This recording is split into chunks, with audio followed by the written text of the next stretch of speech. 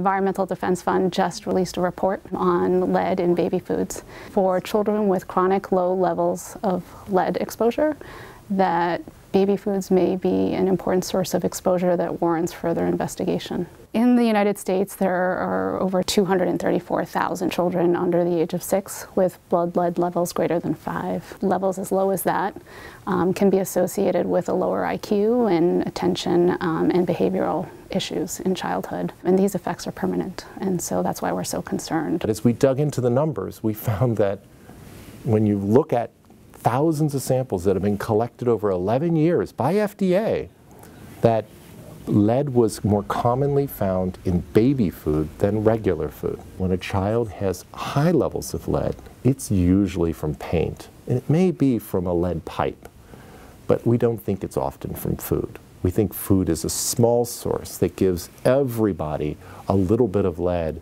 and if we removed it, every kid would do a little better.